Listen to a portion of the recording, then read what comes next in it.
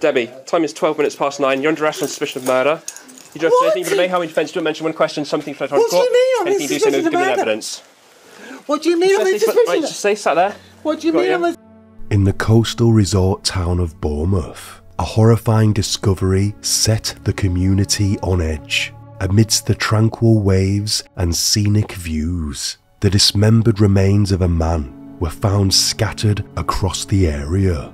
The body parts were crudely severed, indicating a lack of professional skill. As the investigation unfolded, a local couple were arrested, yet despite being in custody, both vehemently denied any involvement in the murder. Yet, they were secretly being recorded in the police van, and the man can be heard saying, Kill, decapitate, and eat the effers. I do it again and again and again. Officers would later uncover that what they did with the remains were as vile as the murder itself. This case I found to be very depraved. The three people involved all live troubled lives, and I know that many others live like this as well. What happened was totally avoidable, but also desperate and brutal. But before we dive in, I want to let you know about my second channel called Grim Tales, where I'm covering true stories that are shocking but not murderous. I think if you find this content interesting, then you should see what's over there. Link to the channel is in the comments. And if you find this video interesting, then please drop it a like, as it really helps. Also, go here and subscribe to my Instagram. Thank you. This video is created solely for educational and documentary purposes. The dismembered remains were later identified as those of 49 year old Simon Shotton, a man whose life had been troubled from an early age. Simon never settled into a stable career. Instead, he took on various roles, ranging from agency work and warehouse positions to a stint working at a fairground.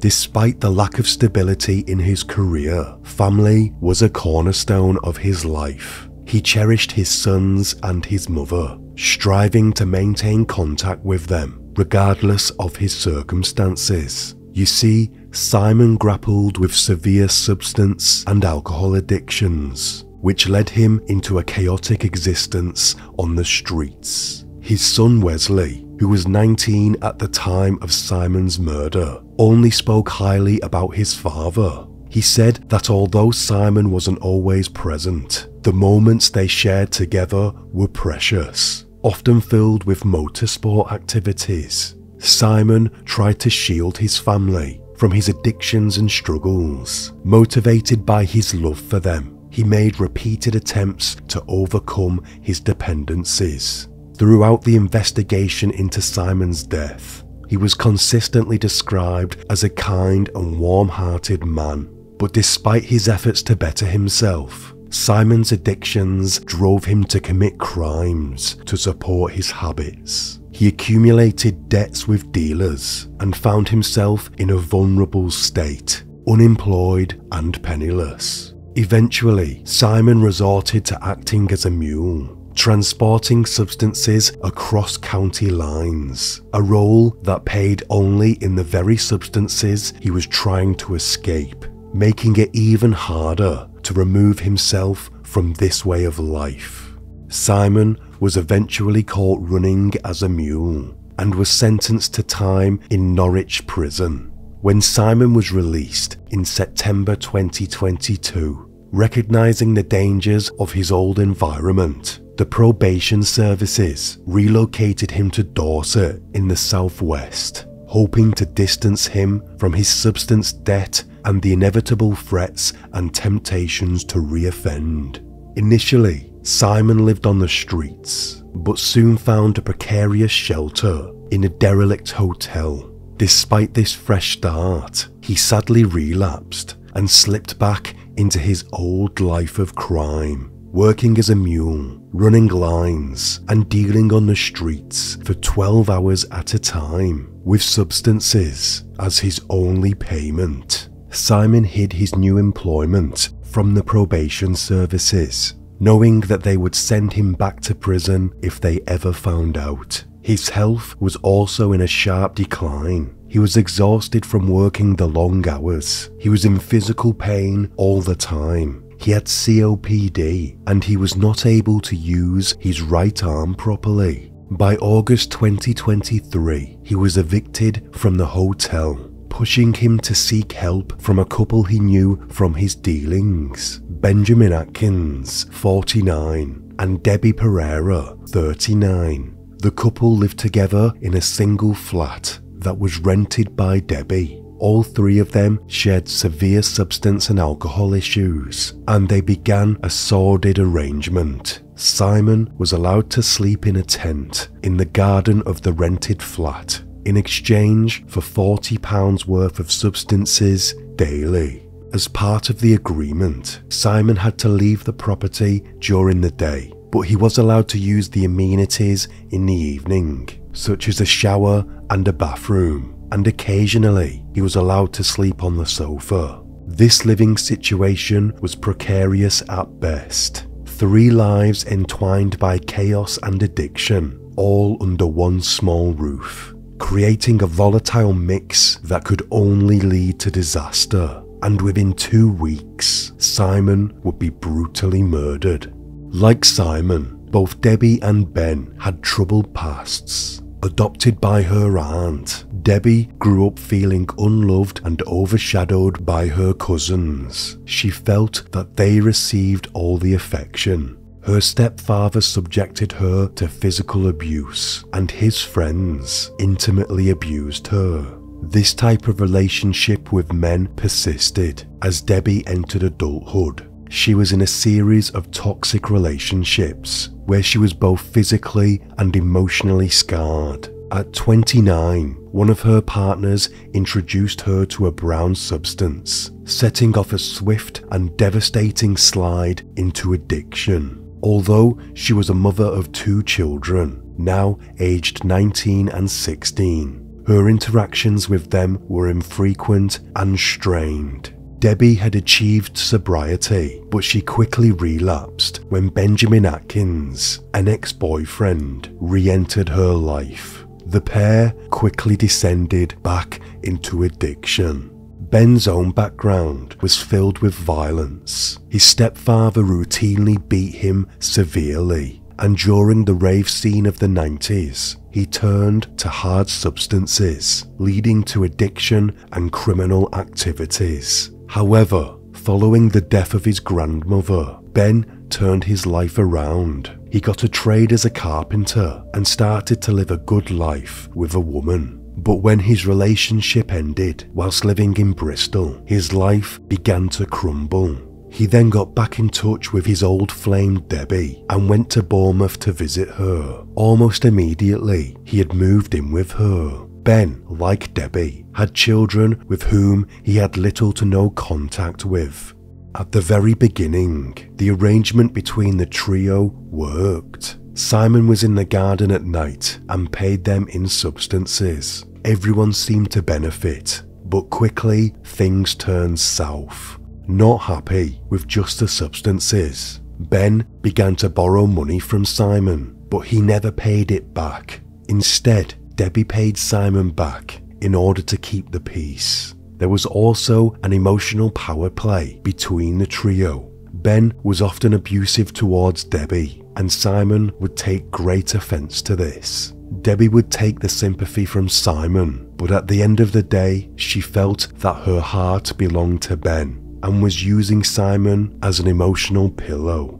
Not happy with the £40 worth of substances a day, Ben started to blackmail Simon. He demanded more substances and also made sure Debbie did not find out. Ben told Simon that if he did not give him what he wanted, then he would tell the parole officers about his work as a mule. They both knew that if this happened, then Simon would be going back to prison. This manipulation and abuse only got worse. On the night of the 18th of August, Simon was texting his friend Donna. He was telling her that he did not feel safe at the flat and he needed a new place to stay. He also told her about the blackmail. All three of them were high on substances that evening, and Ben and Debbie wanted more substances, but they had no money to pay for them. So they formed a plan, and Debbie would distract Simon, whilst Ben went and stole his money. The plan worked, and at 4.30am, Ben and Debbie went off to get more substances. Simon quickly noticed that he had been robbed and was enraged. And when Ben and Debbie returned home at around 7am, Simon confronted them, but Ben just laughed him off. And he and Debbie went into their bedroom and did all the substances between themselves. Simon was anxiously waiting to be picked up for work. He sent a text message to his ride, urging them to come earlier as he felt unsafe in the flat. He knew something could go down. In his angry state, Simon also cut the TV cables in the flat and he went into the utility room to wait.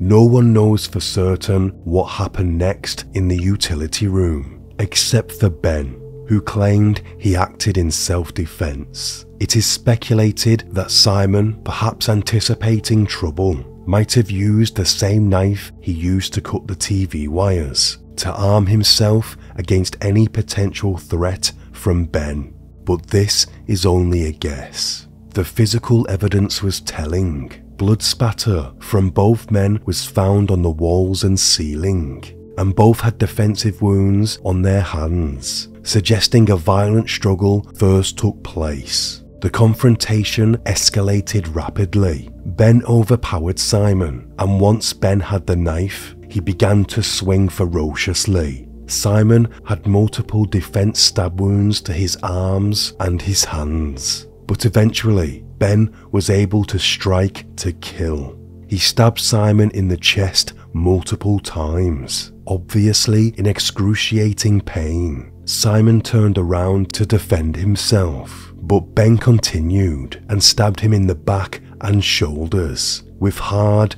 and deep strikes from the blade. Overcome by rage, Ben didn't stop there. After Simon fell to the floor, Ben continued his assault while sat on his chest, Ben used a large speaker to brutally smash into Simon's skull. He did this repeatedly until there was no sign of life. In a gruesome final act of violence, once Simon was seemingly dead, Ben gouged out Simon's eye with his thumb.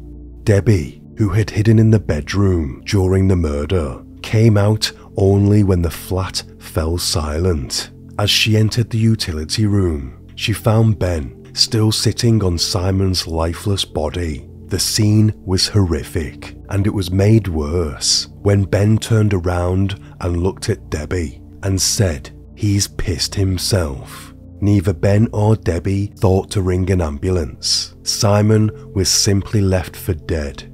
What the couple did next was take Simon's pipe and smoke the remaining substances from inside it. After a few hours of being high in the front room and Simon's lifeless body laying in the utility room, the couple decided they needed to get more substances. Fueled by desperation and addiction, the couple rifled through Simon's belongings, taking the little money he had left. They also pawned Simon's bike and phone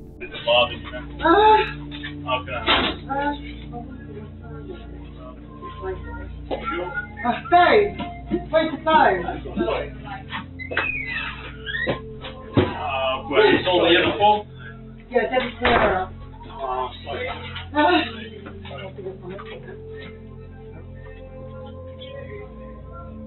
Uh, can you just uh, spell your surname? Yeah. R-E-I-R-A. Yeah. I R. The phone was unlocked by Debbie, who had figured out Simon's PIN code and re registered it into her name in order to pawn it. They went back to the flat and got high again until the next day. It was only then, in the stark light of day, that they acknowledged the need to deal with Simon's body, which still remained untouched after the attack in the utility room. Ben dragged the body outside into the garden and covered it up. The couple then decided to go out and get some cleaning supplies and a hacksaw, all of which was stolen. Debbie had OCD and immediately she set about meticulously cleaning the flat. Her efforts were in sharp contrast to Ben's. Ben just painted over the bloodstains on the walls with a magnolia paint that he had borrowed from a neighbour, attempting to cover up the visible evidence of their crime. Over the next few days, Debbie continued her thorough cleaning, while Ben took a more gruesome task upon himself. He acquired a book on anatomy and used it to guide him as he began the macabre process of dismembering Simon's body. He waited until it got dark, and in the garden, he gruesomely sawed off Simon's head, followed by his legs and then his arms. Ben was convinced that he could get rid of the evidence by simply burning it. Ben started a fire in the backyard and threw in Simon's clothes and his head. However, the burning flesh emitted a putrid smell that soon caught the neighbours' attention. The horrific stench was unlike anything they had smelled before, and they were horrified and became suspicious. Ben managed to convince them that the smell was that of a dead fox that he found in his garden and that he was simply burning the remains. He spent two futile days attempting to burn Simon's head, using various accelerants to intensify the fire, but the flames were never hot enough to fully consume the remains. Ben now had to think of a new plan to dispose of the body. On a rainy day in Bournemouth, Dana Burton was handing out flyers on the seafront when she sought shelter under a tree. As she stood there, a foul smell caught her attention and she noticed a suspicious package lying nearby. Her curiosity was piqued, but as the rain stopped, she continued handing out the flyers, but the package weighed heavily on her mind. Returning to the tree shortly after, she discovered, to her horror, that the package had slightly opened with the rain and contained what appeared to be a human foot. Panicked, she immediately contacted the police. Responding officers combed the area around the Manor Steps zigzag, a path leading to the beach, where they discovered another human leg. This grim find made the authorities do an extensive search of the surrounding areas. Six days later, in Boscombe Chine Gardens, a police officer, guided by a perverse and quote, smell of death, found a black suitcase containing a headless torso. Authorities were able to identify the remains as those of Simon Shotton. Further investigation led to a breakthrough when detectives traced the sale of Simon's phone back to a local pawn shop. This made Ben and Debbie the main suspects, as it was them who had sold the items. Authorities went to the flat to arrest the couple. Who is that? Right.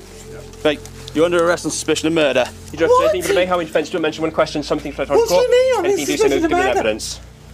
What do you mean I'm in Right, suspicion? just stay sat there. What do you Got mean you. I'm in Officers found a smoking gun when they found Simon's severed arms inside two bin bags in the garden of the flat. They were both apprehended and put in the back of a police van. In the van, a secret microphone picked up their conversation. Do you regret anything? Debbie asked Ben. Ben replied, I'll look him straight in the eye and say, yeah. I'll do it again and again and again. If you let me go today, I'd find another one and do it again. Substance dealers and pushers kill, decapitate, and eat the fucker. Ben then spoke about the arrest in the garden. He said, and quote, I went into the garden to get rid of the fucking arms. Ben would also go to tell Debbie that he had cooked Simon's head and quote, ate his cheeks. Debbie would also mention that she was worried about the police finding blood under her fingernails.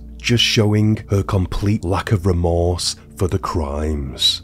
During interrogation, the officers wanted to know what had happened to Simon's head. Only small fragments were ever found. Ben said that he burned it in the garden and the skull and teeth turned to ash. But this has been proven to be impossible. To this day, Simon's head is still missing, denying him a proper burial.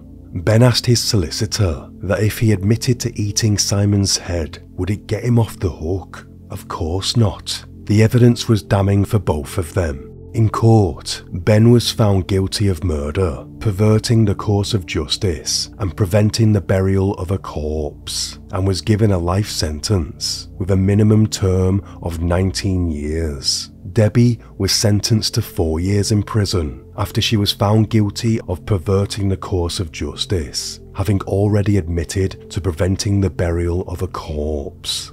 After sentencing, Ben said, I wouldn't have done that if I wasn't under the influence. I wouldn't have cut him up. I was scared. I was traumatized. I was panicked. I was under extreme stress, as well as under the influence. What I'd done was truly awful. It's horrendous what I have done, and I deserve to be punished for what I have done. I am sorry to his family. I am sorry to my family. It's difficult for me to be remorseful to a man who was trying to kill me in my own house.